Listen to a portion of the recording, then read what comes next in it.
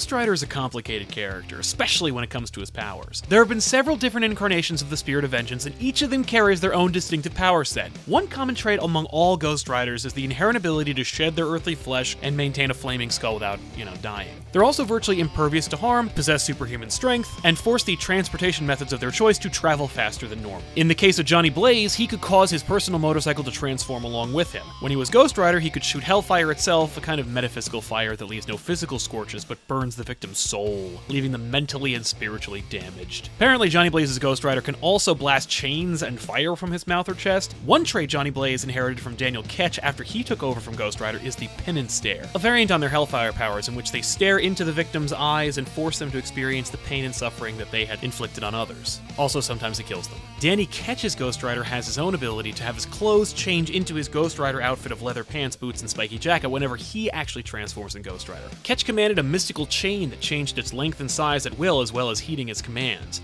Originally, the Ketch Ghost Rider could only be summoned when innocent blood was spilt, but eventually that became inconvenient and you just changed whenever you felt like it. Michael Badilino was once a New York City cop who became a Ghost Rider variant character known as Vengeance. His powers were similar to the other riders, though his look and skull flame colors were noticeably different. His powers and abilities were actually rather similar to the Noble Kale version of Ghost Rider, who could wield Hellfire and Penance Stare and maintain superhuman strength thanks to the Medallion of Power. Now, there was also Alejandra Jones, who thanks to a ritual took on powers very similar to Ghost Rider. She maintained the transformation ability, super strength, durability, healing factor, Hellfire, and Penance Stare. So essentially, she was just a female version of Ghost Rider and technically one of the only literal Ghost Rider. Instead known as the Phantom Rider, Carter Slade had the ability to become intangible, fire energy from spiritual guns he wielded, and generally possessed ghost related powers. And in the cyberpunky alternate future of 2099, there was a Ghost Rider who was actually a cybernetic approximation of abilities similar to Ghost Rider of our time, but nobody really remembers him or cares about this character. And finally, we come to Robbie Reyes, the newest Ghost Rider. Technically, he's possessed by a human spirit known as Eli Morrow, and completely unconnected to the Spirit of Vengeance, like most Ghost Riders. Robbie possesses similar but not identical abilities as Ghost Rider, which includes the Flaming Skull, the durability, healing factor, super strength, etc. Unlike most Ghost Riders, he drives a car which he has remote access to, which also has a bottomless trunk, allowing Robbie to carry virtually anything in his ride.